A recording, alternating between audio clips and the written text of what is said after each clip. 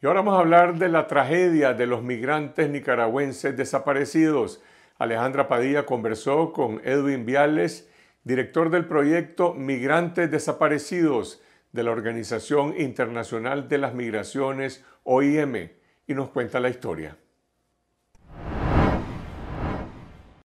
Muchas gracias, Edwin, por esta entrevista. De enero de 2014 a julio de 2021, el proyecto Migrantes Desaparecidos ha registrado 6.321 casos de migrantes desaparecidos y fallecidos en la región de la América, de los cuales 3.800 casos se registraron en el cruce fronterizo entre México, y Estados Unidos. ¿Se conocen las circunstancias en las que fallecieron o desaparecieron estas personas? Podemos destacar que eh, muchas de, estos fallecimientos, muchos de estos fallecimientos están asociados eh, a condiciones ambientales extremas, como lo puede ser la deshidratación, la hipotermia, eh, condiciones como la falta de albergue, acceso a comida, agua o adecuados, o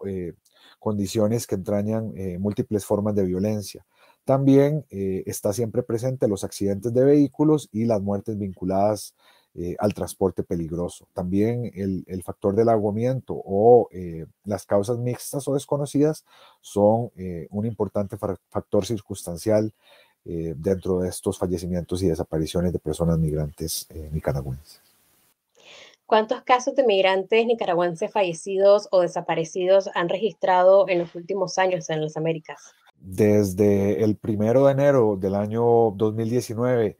al 21 de junio del año 2022, en Centroamérica, Norteamérica y el Caribe hemos registrado el fallecimiento y la desaparición de 44 personas migrantes originarias de Nicaragua, de las cuales 30 corresponden a hombres, 10 a mujeres y 4 a niños, niñas y adolescentes. Cabe destacar que desde enero de 2021 a la fecha, en estos 18 meses, hemos registrado 39 fallecimientos y desapariciones de personas migrantes originarias de Nicaragua. ¿En qué zonas, Edwin, o rutas migratorias se registran un mayor número de nicaragüenses migrantes fallecidos? Eh, es importante considerar y tener en cuenta que el proyecto Migrantes Desaparecidos divide a las Américas en varias regiones, esto para efectos de monitoreo, investigación y análisis de incidentes. Donde generalmente se registran mayores fallecimientos de personas migrantes nicaragüenses es en las regiones de América del Norte y América Central, particularmente en las subrutas migratorias que atraviesan el norte de Centroamérica y en el río Bravo en toda la franja transfronteriza entre los Estados Unidos y México. También en rutas terrestres a lo interno de México, donde ya hemos registrado casos de migrantes nicaragüenses que han perdido la vida en accidentes de tránsito. Se han registrado incidentes también de migrantes nicaragüenses fallecidos en el desierto y en accidentes de tránsito ya del lado estadounidense de dicha frontera. Y me parece también muy, muy importante mencionar y destacar que entre la frontera entre Costa Rica y Nicaragua, debido a procesos de monitoreo e investigación, así como informes anecdóticos que hemos recibido desde que iniciamos el monitoreo en las Américas en el año 2020, se han presentado incidentes de personas migrantes nicaragüenses fallecidas durante el tránsito migratorio que de igual forma, por condiciones geográficas y físicas eh, que presenta esta región, nos generan eh, un gran subregistro de datos específicamente. Generalmente, ¿qué ocurre cuando una persona es reportada como desaparecida? Sucede de que se encuentra la persona, luego se descubre que la persona lamentablemente falleció durante su ruta migratoria. Eh, lamentablemente, y retomando el caso específico de muchas personas originarias, eh, muchas personas migrantes originarias de Nicaragua fallecidas, eh, lamentablemente por las duras condiciones de la ruta es, es muy común que eh, una desaparición se convierta en un fallecimiento. O a veces, lamentablemente también, como, como lo mencioné anteriormente, cuando se presentan eh, accidentes de tránsito, a veces es lamentable que una, una persona migrante víctima de este accidente sea transportada al hospital y después pierda la vida. Entonces esto, esto lamentablemente sucede eh, con mucha frecuencia y reitero, esto está relacionado a, las duras condiciones de las, de las rutas migratorias, en este caso terrestres, que son mayoritariamente utilizadas por las personas eh, migrantes nicaragüenses y también está relacionado a, la falta de acceso a cuidados de salud eh, adecuados para, poder preservar su vida y evitar que fallezcan durante el tránsito migratorio. ¿Cómo impacta a los familiares el fallecimiento o la desaparición de un familiar en estas circunstancias? Eh, es, una excelente pregunta y desde, desde el inicio del proyecto en, el año 2014 es un tema que constantemente estamos posicionando eh, en la agenda pública y en la agenda política. La desaparición de una persona en el contexto de la migración tiene múltiples impactos profundamente negativos en sus familias y genera necesidades de carácter económico, psicológico, legal, administrativo, ya que las familias de las personas migrantes desaparecidas deben tener la oportunidad eh, de manera significativa de participar en todas las actividades relacionadas con la búsqueda de sus seres queridos desaparecidos. Eh, debido a que apenas existen procesos oficiales de búsqueda de personas migrantes desaparecidas y los que existen no son del todo efectivos o accesibles, el acompañamiento que ofrecen organizaciones de la sociedad civil a familias durante su proceso de búsqueda se vuelve indispensable. Existen leyes, protocolos o mecanismos, además de los que ya mencionabas, que velen por la protección de los derechos de las personas migrantes en las Américas y qué tan efectivos son los estados para implementarlas.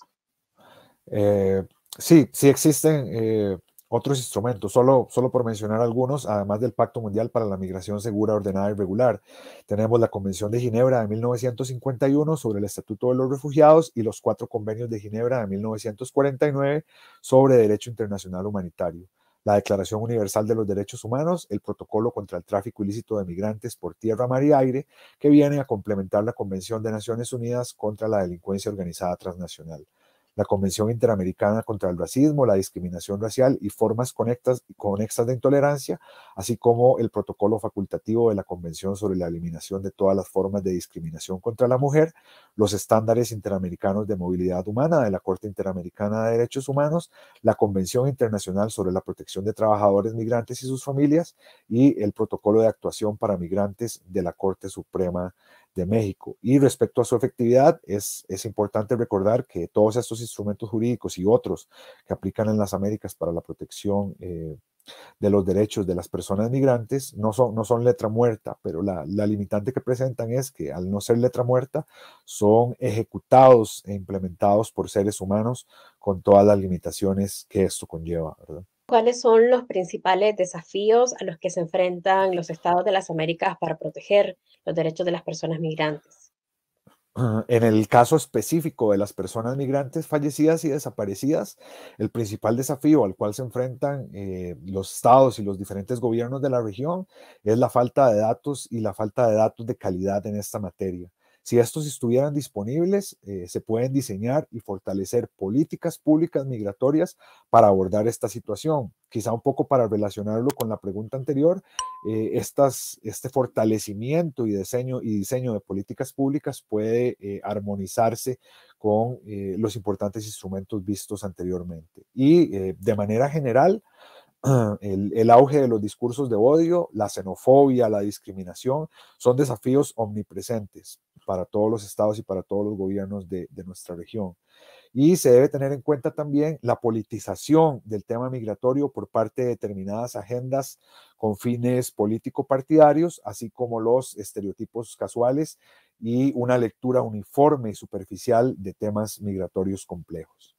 Muy pocas veces eh, Edwin, se aborda el tema de los derechos de las personas migrantes, incluyendo a las personas que migran de manera irregular.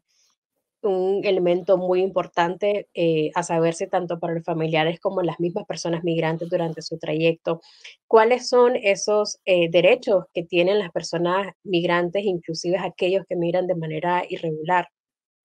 Eh, bueno, hay, que recordar que independientemente del estatus migratorio, por ejemplo, todos los, derechos contemplados en la, en la, Declaración Universal de los Derechos Humanos, en los instrumentos mencionados anteriormente, como en el Pacto Mundial para una Migración Segura, Ordenada y Regular, eh, los protocolos contra el tráfico ilícito de migrantes o las convenciones interamericanas, ya sea contra el racismo, la discriminación racial o los estándares de movilidad humana, esto cabe destacar que no aplica únicamente para las personas que migran solo de manera regular. Eh, esto es aplicable eh, para todas las personas migrantes, independientemente de su estatus migratorio, por su misma condición como este, seres humanos sujetos eh, a derechos y deberes contemplados en estos instrumentos. En la novena cumbre de las Américas, 20 países firmaron un acuerdo para fortalecer los esfuerzos nacionales, regionales y hemisféricos a fin de crear las condiciones para una migración segura, ordenada, humana y regular. ¿Es esto un avance significativo en materia de protección de la vida de las personas migrantes? Eh, me parece importante destacar, eh, en primer lugar, en, un mundo eh, donde los discursos de odio, la xenofobia, la discriminación están nuevamente en auge, no se debe perder de vista nunca la importancia del multilateralismo, entendido como una forma de prevalencia de la cooperación sobre el conflicto y de ahí la importancia de iniciativas que surjan de estos espacios multilaterales, como por ejemplo la novena cumbre de las Américas este, ya como antecedente inmediato desde diciembre del año 2018 con la adopción en Marrakech del Pacto Mundial para la Migración Segura, Ordenada y Regular, se sirvió eh, la mesa para que eh, los diferentes estados y los diferentes gobiernos eh, del mundo y de la región eh, empezaran a generar política pública y política migratoria de carácter intergubernamental en esta materia. Con esta declaración en específico, los países de las Américas reconocen la urgente necesidad de trabajar en colaboración para proteger la dignidad, la vida y los derechos humanos de todas las personas migrantes, independientemente de su estatus migratorio, como lo mencioné también anteriormente.